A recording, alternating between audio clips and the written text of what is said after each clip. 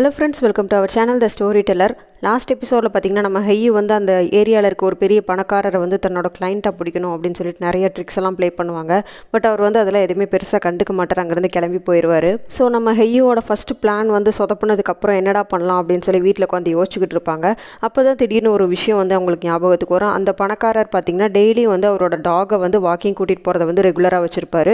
So அதனால் வந்து நம்ம இப்படியே விடக்கூடாது. நம்ம மறுபடியும் ஏதாவது பிளான் பண்ணலாம் அப்படின்னு சொல்லிட்டு என்ன பண்ணுவாங்கன்னா அந்த ஏரியாவில் பக்கத்து பக்கத்தில் இருக்க ஒரு பெட் ஷாப் போய் நம்மளும் ஒரு பெட் வாங்கலாம் அப்படின்னு சொல்லி போயிருப்பாங்க. அந்த பெட் ஷாப்பில் பார்த்தீங்கன்னா நிறையா இருக்கும். பூனை இருக்கும் நாய் இருக்கும். ஈவன் ரெப்டைல்ஸ் கூட வச்சுருப்பாங்க. அது எல்லாத்தையுமே பார்த்துட்டு கடைசியாக டாக்ஸ் பார்ப்பாங்க. டாக் வந்து ரொம்ப க்யூட்டாக இருக்கும். அதுக்கப்புறம் அதோட ப்ரைஸ் எல்லாம் விசாரிக்கும் போது நிறைய காஸ்ட்லியாக சொல்லுவாங்க. அதெல்லாம் கேட்கும்போது ஹெய்க்கு வந்து பயங்கரமாக ஷாக் ஆயிரும்.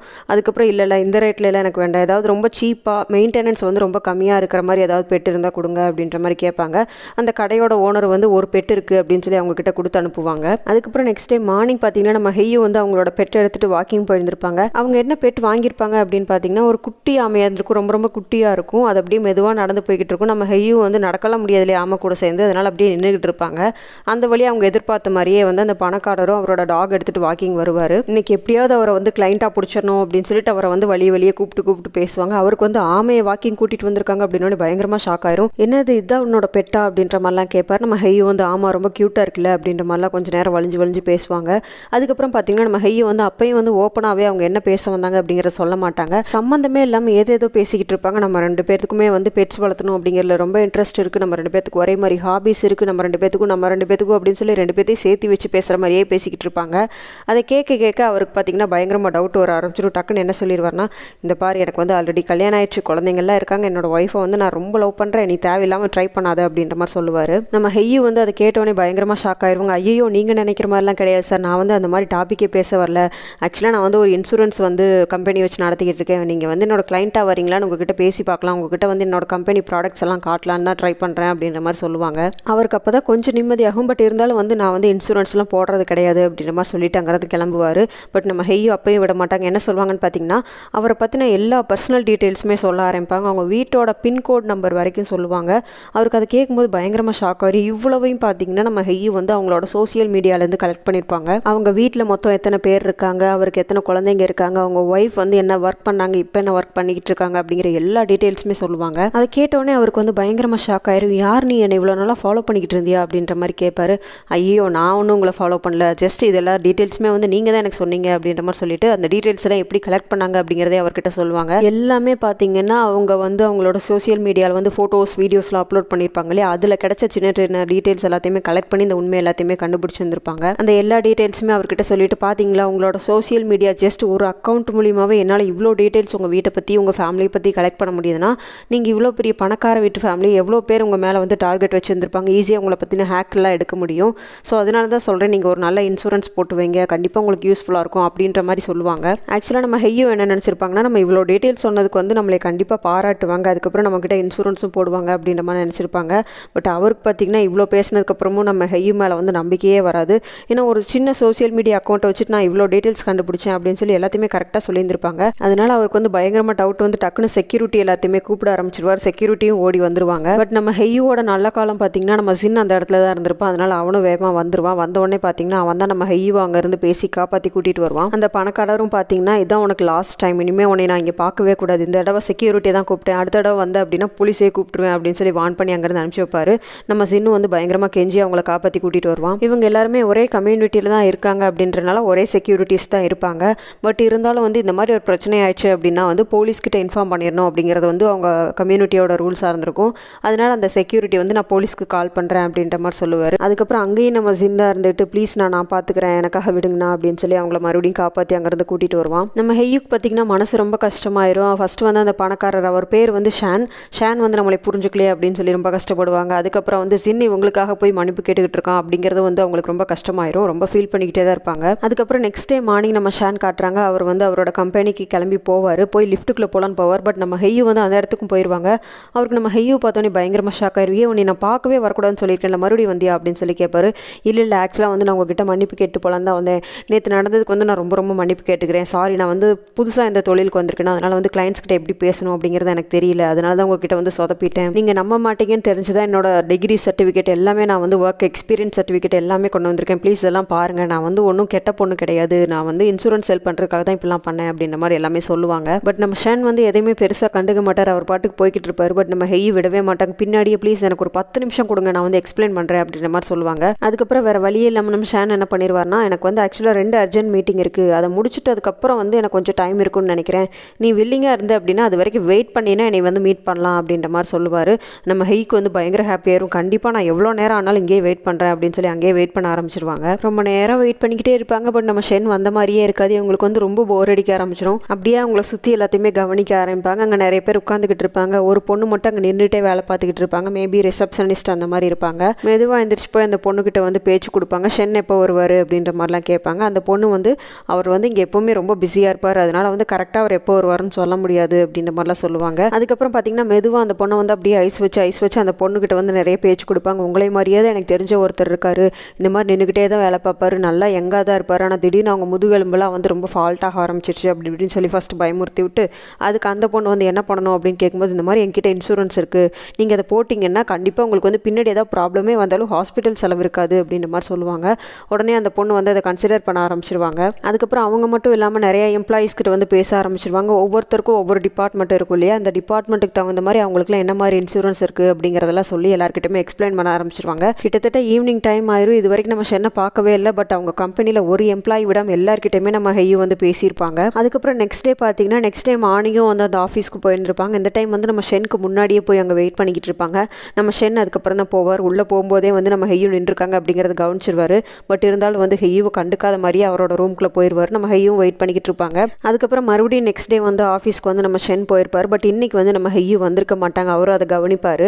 கொஞ்ச நேரம் கழிச்சு ஷென்னோட அசிஸ்டன்ட் வந்து ஏதோ டாக்குமெண்ட் சைன் வாங்கணும் அப்படின்னு சொல்லி அவரோட ரூம்குள்ளே வருவாங்க. அவங்க கிட்ட வந்து கேட்பாரு ஒரு பொண்ணு வந்து இன்சூரன்ஸ் விற்கிறேன் அப்படின்னு சொல்லி ரெண்டு நாளாக வந்துகிட்டு இருந்தாலும் இன்னைக்கு அந்த பொண்ணு வரலையா அப்படின்னு சொல்லி கேட்பாரு அதுக்கு அந்த பொண்ணு என்ன சொல்லுவாங்கன்னு பார்த்தீங்கன்னா நீங்கள் வந்து ஹெய்யூ சிஸ்டரையா கேட்குறீங்க அவங்க வந்து இன்னைக்கு வரல சார் இன்னைக்கு வந்து வேற ஏதோ ஒரு இடத்துக்கு போகிறேன்னு சொன்னாங்க. அங்கே போயிருப்பாங்கன்னு நினைக்கிறேன். அப்படின்ற மாதிரி சொல்லுவாங்க. அதை கேட்டோடனே நம்ம ஷென்க்கு வந்து பயங்கரமாக ஷாக் ஆயிரும். உனக்கு அந்த பொண்ணு முன்னாடியே தெரியுமா? அப்படின்ற மாதிரி கேட்பாரு இல்லை சார் முன்னாடியெல்லாம் தெரியாது. இங்கே தான் நாங்கள் வந்து மீட் பண்ணோம். அப்படின்ற மாதிரி சொல்லுவாங்க. அது மட்டும் இல்லாமல் நம்ம ஹெய்யூ வந்து அவங்களோட ஜாப்ல எவ்வளோ சின்சியராக இருக்காங்க எவ்வளோ ஹார்ட் ஒர்க் பண்ணுறாங்க அப்படிங்கிறது எல்லாத்தையுமே வந்து நம்ம ஷென் கிட்ட சொல்லுவாங்க அந்த பொண்ணு. நம்ம ஷென்க்கு பார்த்தீங்கன்னா எக்ஸ்ட்ராவாக கொஞ்சம் ஷாக் ஆயிரும். ரெண்டு நாள் தான் மீட் பண்ணியிருக்காங்க. அதுக்குள்ளே இந்த ஹெய்யூவை பற்றி இவ்வளோ டீட்டெயில்ஸ் சொல்கிறாங்களே அப்படின்னு சொல்லி ரொம்ப ஆச்சரியமாக இருப்பார். அதுக்கப்புறம் பார்த்தீங்கன்னா நைட் டைமில் வந்து ஒரு பஸ் ஸ்டாப்பில் நம்ம ஹெய்யூ வெயிட் பண்ணிக்கிட்டு இருப்பாங்க. அந்த வழியாக ஒரு கார் வந்து அவங்க பக்கத்தில் நிற்கும் யாருன்னு பார்த்தீங்கன்னா நம்ம ஷென் தான் வந்திருப்பாரு. அவரை பார்த்தோன்னே நம்ம ஹெய்க்கு வந்து பயங்கரமாக ஷாக் ஆயிரும். ஷென் என்ன சொல்லுவாருன்னு பார்த்தீங்கன்னா வா நான் உன்னை ட்ராப் பண்ணுறேன் அப்படின்னு சொல்லி காரில் ஏற்றி கூட்டிகிட்டு போவார். போகிற வழியில் வந்து நம்ம ஹெய்யூ கிட்ட நிறையாவும் பேசிட்டும் போவாங்க. என்னதான் அவரோட கம்பெனியில் வந்து நிறைய பேர்கிட்ட நம்ம ஹெய்யூ பேசியிருந்தாலும் யாருமே வந்து இன்சூரன்ஸ் போட்டிருக்க மாட்டாங்க.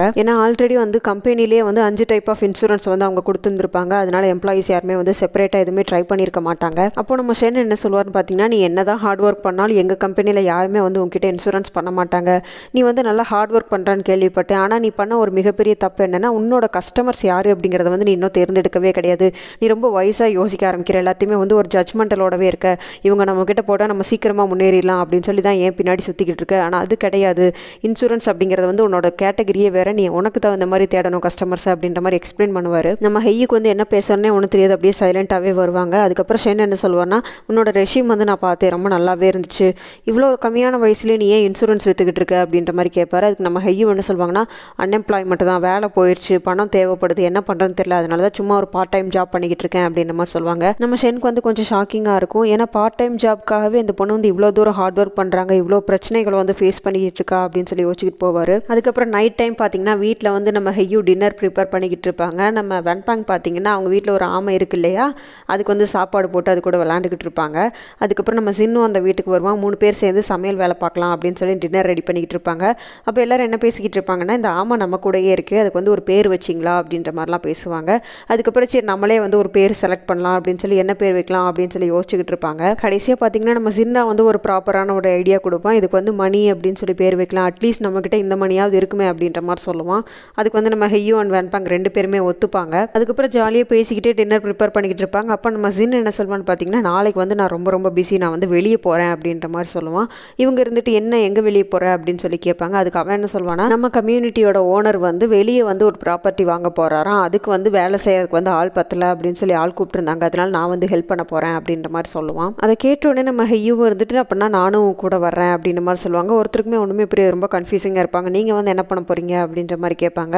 அப்போ நம்ம ஹையும் என்ன சொல்லுவாங்கன்னா நீ தானே சொன்ன வெளியே ஒரு இடத்துக்கு போக போகிறோம் அது வந்து ஒரு ப்ராப்பர்ட்டி ஏரியா அங்கே வந்து நிறைய ஒர்க்கர்ஸ் வருவாங்க. நிறைய ஒர்க்கர்ஸ் வந்தாங்க அப்படின்னா அந்த இடத்துல வந்து எனக்கு நிறைய வேலை இருக்கும். நானும் வந்து நிறைய இன்சூரன்ஸ் வந்து சேல் பண்ணுவேன். எனக்கு அது ஒரு ஆப்பர்ச்சுனிட்டி தான். அதனால் நானும் வரேன் அப்படின்னு சொல்லி அடுத்த நாள் வந்து அவங்களும் வந்து சின் கூட கிளம்பி போவாங்க. நம்ம ஹெய்யோட காரில் தான் போவாங்க. அந்த இடத்துக்கு போனதுக்கப்புறம் நம்ம சின் இறங்கிப்பான். ஹெய்யோ வந்து நீங்கள் வந்து பார்க் பண்ணிட்டு வாங்க. ரொம்ப முக்கியமாக நான் ஒர்க் பண்ணுற ஏரியா சைடு வராதீங்க. இந்த சைடே சுற்றிக்கிட்டு இருங்க. அதோட ரொம்ப முக்கியமாக நீங்கள் வந்து கொஞ்சம் கண்ட்ரோலாக இருங்க. மறுபடியும் அவனாவது போலீஸ்க்கு கால் பண்ணிட்டு போகிறான் இந்த டைம் வந்து நான் காப்பாற்ற மாட்டேன் அப்படின்ற மாதிரி சொல்லுவான். நம்ம ஹெய்யூ வந்துட்டு அதெல்லாம் எனக்கு தெரியும். நீ முதல்ல கிளம்பி போடா அப்படின்னு சொல்லிட்டு அவங்க காரை பார்க் பண்ணிவிட்டு அந்த ஏரியாவில் யாராவது கஸ்டமர் கிடைப்பாங்களா அப்படின்னு சொல்லி தேடிக்கிட்டு இருப்பாங்க. பட் அந்த இடத்துக்குள்ள பார்த்தீங்கன்னா ஆல்ரெடி ஒரு ஆள் இந்த மாதிரி தான் வந்து இன்சூரன்ஸ் வந்து சேல் பண்ணிக்கிட்டு இருப்பார். அவரையே பார்த்தீங்கன்னா அங்கே இருக்க செக்யூரிட்டி வந்து யோ இங்கெல்லாம் உட்காரக்கூடாது. இங்கெல்லாம் வந்து இந்த மாதிரி வேலையெல்லாம் பார்க்கக்கூடாது. முதல்ல வெளியே போ அப்படின்னு சொல்லி துரத்துவாங்க. அதை பார்த்தோன்னே ஹெய்யூக்கு பயங்கரமாக ஷாக் ஆயிரும். ஆஹா உள்ளே விட மாட்டாங்க போலயே அப்படின்னு சொல்லிட்டு அப்படியே சைலண்ட்டாக வெளியே வந்துருவாங்க. வெளியே வரும்போது பார்த்தீங்கன்னா வெளியே நம்ம சின் வந்து ஒர்க் பண்ணிக்கிட்டு இருக்கிறத வந்து கவனிப்பாங்க. ஆக்சுவலாக சின் அந்த இடத்துக்கு வந்து சூப்பர்வைஸ் பண்ணுறதுக்காக தான் வந்திருப்பான். பட் என்ன ஆயிருக்குன்னு பார்த்தீங்கன்னா அந்த ப்ராப்பர்ட்டியோட என்ட்ரன்ஸ் என்ட்ரன்ஸில் வந்து இப்போ நம்ம ஊருக்கு வந்து இந்த டைல்ஸு சிமெண்ட் மூட்டையெல்லாம் வரும் இல்லையா வண்டி அந்த மாதிரி ஒரு ட்ரக் வந்து அங்கே வந்து ஸ்ட்ரக் ஆகிக்கும் அதுக்கு மேலே உள்ளே வர முடியாது அப்படின்ற மாதிரி சொல்லிடுவாங்க அதனால் அங்கே கம்யூனிட்டிலேருந்து ஒர்க் பண்ண வந்த சில பேர் சேர்ந்ததாவது நம்ம சின் மாதிரியே நிறைய பேர் வந்து அங்கே சூப்பர்வைசிங்காக வந்திருப்பாங்க. அவங்களே நாங்களே வந்து ஒன்றொன்னா உள்ளே கொண்டு போய் இறக்கி வச்சிடறோம் அப்படின்னு சொல்லி அங்கே இருக்க திங்ஸ் எல்லாத்தையுமே வந்து எடுத்துகிட்டு போயிட்டு இருப்பாங்க. அப்படி எடுத்துகிட்டு போகும்போது பார்த்தீங்கன்னா நம்ம சின்னோட கையில் வந்து லைட்டாக அடிபட்டுரும். அங்கே வந்து லைட்டாக காயம் இருக்கும். சின்க்கு வந்தது பெருசாக தெரியாது. பட் நம்ம ஹெய்யோ அதை கவனிச்சிருவாங்க. உன் கையில் காயம் ஆயிடுச்சு வருவா அப்படின்னு சொல்லி அவங்க காருக்கு கூட்டிகிட்டு போய் அதுக்கு வந்து நிறையா ட்ரீட்மெண்ட்லாம் பண்ணிக்கிட்டு இருப்பாங்க அப்போ நம்ம ஹெய்யோ என்ன கேட்பாங்கன்னா உனக்கு வந்து இவ்வளோ பெரிய அடிபட்டுருச்சுல நீயே ரெஸ்ட் எடுக்கக்கூடாது அப்படின்ற மாதிரி சொல்லுவாங்க.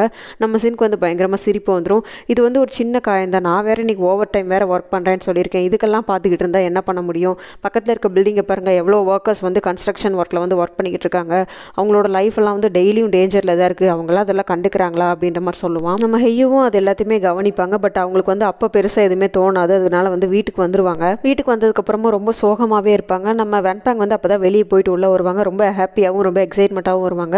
உங்களுக்கு ஒரு விஷயம் தெரியுமா? ரெண்டு குட் நியூஸ் இருக்குது எனக்கு வந்து ஆக்சுவலாக என்னோட வீடியோ ஒன்று வந்து பயங்கர ஃபயராக போய்கிட்டு இருக்கு பயங்கர ட்ரெண்டிங்காக போய்கிட்டு இருக்கு அதனால் எனக்கு வந்து ப்ரொமோஷனும் கிடைச்சாலும் கிடைக்கிறதுக்கு வாய்ப்பு இருக்குது அப்படின்ற மாதிரி சொல்லுவாங்க. நம்ம ஹெய்க்கு அதை கேட்டோன்னே பயங்கர ஹாப்பியாயிரும் கங்க்ராச்சுலேட்லாம் பண்ணுவாங்க. அப்போ நம்ம வேன்பேங் என்ன சொல்லுவாங்கன்னா என்னோட வீடியோ வந்து இந்த மாதிரியே ரீச் ஆகிட்டு இருந்துச்சு அப்படின்னா எனக்கு வந்து நிறைய பணம் கிடைக்கும். எனக்கு பணம் கிடைச்சது அப்படின்னா கண்டிப்பாக நான் உங்களுக்கு வந்து சப்போர்ட் பண்ணுவேன் அப்படின்ற மாதிரி சொல்லுவாங்க. நம்ம ஹெய்யுக்கு அதை கேட்கும்போது ரொம்ப ஹாப்பியாக இருக்கும். பட் ரொம்ப எக்ஸைட்மெண்ட் ஆக மாட்டாங்க. சோகமாகவே இருப்பாங்க. நம்ம வெண்பாங்க அதை கவனிச்சிருவாங்க. என்னாச்சு நான் இவ்வளோ பெரிய குட் நியூஸ் சொல்கிறேன் ஏன் நீங்கள் வந்து இன்னும் சோகமாகவே இருக்கீங்க? உங்களோட ஒர்க் எதுவுமே நல்லா போகலையா அப்படின்ற மாதிரி கேட்பாங்க. அதுக்கு நம்ம ஹெய்யும் என்ன சொல்லுவாங்கன்னு பார்த்தீங்கன்னா இல்லை அப்படிலாம் கிடையாது. என்னதான் எனக்கு வந்து வேலை இல்லை அப்படின்னா கூட அட்லீஸ்ட் எனக்கு வந்து ஒரு ஃபிக்ஸ்ட் பிளேஸ் இருக்குது நான் இங்கே தான் தங்கணும் அப்படின்னு எனக்கு ஒரு பிளேஸ் இருக்குது எனக்கு வந்து கொஞ்சம் டெபாசிட் இருக்குது ஓரளவுக்கு நல்லா டீசெண்டாகவே வாழ்ந்துட்டுருக்கேன் ஆனால் பேசிக்கான ஒரு லைஃப் கேரண்டியே இல்லாமல் நிறைய பேர் வாழ்ந்துக்கிட்டு இருக்காங்க. அவங்களெல்லாம் நான் இன்றைக்கி தான் பார்த்தேன். அப்படின்ற மாதிரி சொல்லி ரொம்ப ஃபீல் பண்ணுவாங்க. அதுக்கு நம்ம ஹெய்யும் பார்த்தீங்கன்னா சரி விடுங்க. அதுக்கு நம்ம என்ன பண்ண முடியும்? அப்படின்னு சொல்லி அப்படி இப்படின்னு கொஞ்சம் சமாதானப்படுத்திட்டு நைட்டு தூங்க போயிடுவாங்க அதுக்கப்புறம் நெக்ஸ்ட் டே மார்னிங் எந்திரிச்சிடுவாங்க நம்ம ஹெய்யும் பார்த்தீங்கன்னா சோஃபாலே தூங்கிட்டு இருப்பாங்க. அவங்க டேபிள் ஃபுல்லாக பார்த்தீங்கன்னா நிறைய பேப்பர்ஸாக இருக்கும். அது எல்லாமே பார்த்தீங்கன்னா நம்ம ஹையோட ஒர்க் சம்மந்தப்பட்ட பேப்பர்ஸாக இருக்கும். அது எல்லாத்தையுமே நம்ம வேன்பேங்க் பார்த்துட்டு என்ன பண்ணீங்க நைட் ஃபுல்லாக அப்படின்னு சொல்லி கேட்பாங்க. அதுக்கு நம்ம ஹையோ வந்து எக்ஸ்பிளைன் பண்ணுவாங்க. ஆக்சுவலாக மொதல் நாள் வந்து அந்த ஒர்க்கர்ஸ் எல்லாத்தையுமே பார்த்துருந்துருப்பாங்க இல்லையா? ஸோ அவங்கள பார்த்ததுக்கப்புறம் தான் தோணும். நிஜமாலுமே வந்து இவங்களுக்கு தான் வந்து இன்சூரன்ஸ் தேவைப்படுது. இவங்க லைஃப் தான் டேஞ்சரில் இருக்குது அதனால இவங்களுக்கு தான் நம்ம ஏதாவது பண்ணணும் அப்படின்னு சொல்லிட்டு அந்த மாதிரி ஒர்க்கர்ஸ்க்குலாம் வந்து என்ன மாதிரியான ஆஃபர்லாம் இவங்களால கொடுக்க முடியும் அப்படிங்கிறத நைட் ஃபுல்லாக உட்காந்து ரிசர்ச் பண்ணி ஒரு டேட்டாவே கலெக்ட் பண்ணி வச்சுருப்பாங்க. ஸோ இவங்களோட டேட்டா வந்து அந்த மாதிரி ஒர்க்கர்ஸ்க்கு வந்து ஹெல்ப் ஆகுதா ஆகலையா அப்படிங்கிறத வந்து நம்ம அடுத்த எபிசோடில் பார்க்கலாம். இந்த வீடியோ உங்களுக்கு பிடிச்சிருந்துச்சுன்னா லைக் பண்ணுங்கள் ஷேர் பண்ணுங்கள் கமெண்ட் பண்ணுங்கள் மறக்காம நம்ம சேனலுக்கு வந்து சப்ஸ்கிரைப் பண்ணிருங்க. அப்படியே கூட இருக்க அந்த பெல் ஐக்கானே கிளிக் பண்ணிருங்க. அப்படின்னா நான் வீடியோ போட்டோன்னே உங்களுக்கு வந்து நோட்டிஃபிகேஷன்ஸ் வரும்.